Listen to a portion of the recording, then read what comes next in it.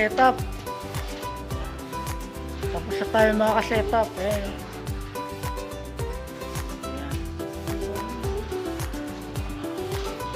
Medyo hindi ko na-videoan yung ano, mga ka-setup, yung umumpisa namin. Kasi anong oras na eh, talagang madalian na eh.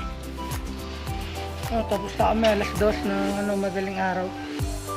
Ah, dalawang setup na kami. Kaya hindi na rin ako nakapag-video ng umpisa.